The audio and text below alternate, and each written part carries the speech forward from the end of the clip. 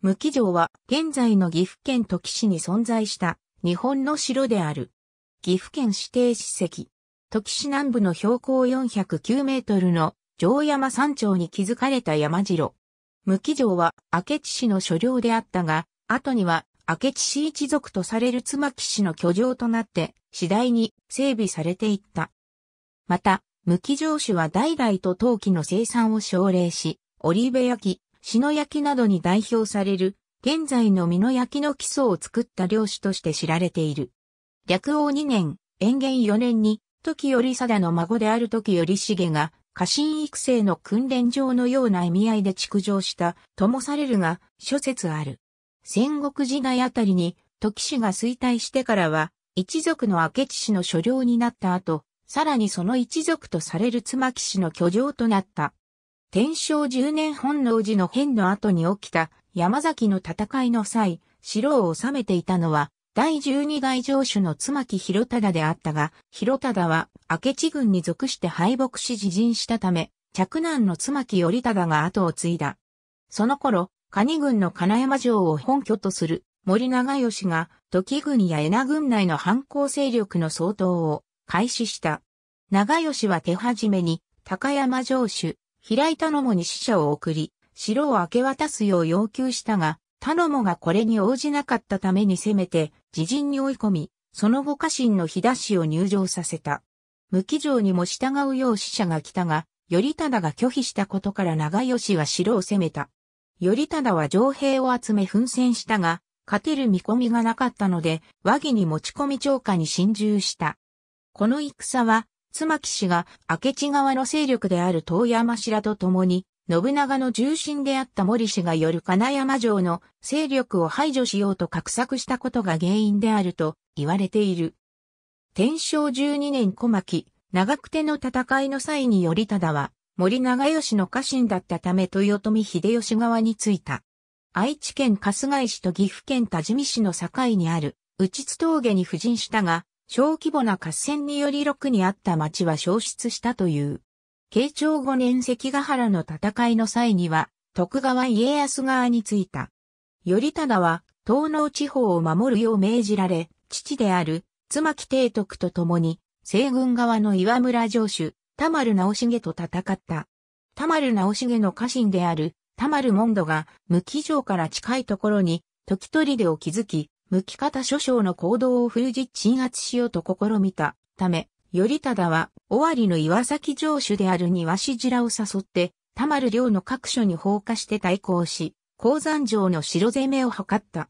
しかし田丸門戸の軍は、鉱山城に火を放って放棄し、二手に分かれた。門戸を含む主力部隊は岩村城へ退却し、別動隊は時取出へ退却して立てこもった。頼忠は田丸軍別動隊の退路を完全に遮断するため、現在の水波市寺川戸町付近に砦を築き、時砦を落とした。また、田丸領内にある明治城と小里城は、もともとは、遠山市の市場と小里市の居城であったが、田丸氏が奪って、岩村城の市場とし、城番を常駐させていた。かつて城主であった遠山利影と小里光親は、頼忠らの支援を受けて、明治城と小里城の攻撃を開始し、その日のうちに明治城を、翌日に小里城を奪回することに成功した。これによって両名は城に戻ることができたので、その後頼忠は両名と共に田丸直重のよる岩村城を攻めようとした。しかし、岩村城は難攻不落と名高い城だったために苦戦を強いられた。向き、遠山、小里連合軍と田丸軍はその後も睨み合っていたが、関ヶ原の戦いが東軍の勝利に終わったことで上司の田丸直重も東軍の軍門に振り、岩村白型を指揮していた田丸門戸も本来の城主である東山理系に城を明け渡した。慶長6年、関ヶ原の戦いの際の先行により頼忠は徳川家康から改めてこの地域を所領として与えられた。頼忠は領地経営において山の上の城では生活が不便であるため、城のある山の北側の山麓に屋敷を築いて住み始めた。元那年間頃にはこの城は放棄されたと見え、山麓にある無機城市屋敷が成長となっていた。現在は、本丸、二の丸跡地に小さな神社が置かれている。無機城の途上口には駐車するスペースがあり、石垣や車、土塁等の遺構も整備されている。建造物は残っていない。山麓の北側に無機城市屋敷があるが、そこの石垣等の遺構も整備されており、駐車するスペースも完備されている。二つとも岐阜県史跡に指定されている。無機城への途上口は、無機城市屋敷跡の右脇から南へ伸びる道を進み、その終点から城山へ登っていくルートと、名機国際ゴルフ場の無機口を入ってすぐ、右へと伸びる林道を進み、その奥にある広場から登るルートの二つある。無機城は、無機川左岸の丘陵先端に位置する山城で、山頂に位置する城中枢と、大手筋の小角軍、南西側尾根、南側尾根に不審された各軍からなる。大手は、北陸の妻木士官からつながる、現在の参道と想定される。関斜面の尾根には、小角が配置され、さらに古工場の地形で大手筋を守備し、四角北側下の山の車につながっている。山頂には石垣で補強された段差で区画された四角二の角が配置されており、南西、南側に派生した尾根は各群で処理され、尾根に挟まれた谷地を守備している。この谷地上部には土塁で区画された空間があり、絡め手に対する前出し機能があったと考えられる。主角と南西、南側尾根を遮断した堀切は、横堀状に主角をカバーするなど、戦国末期の高度な技術を利用していることから、数度にわたり改修されたと考えられる。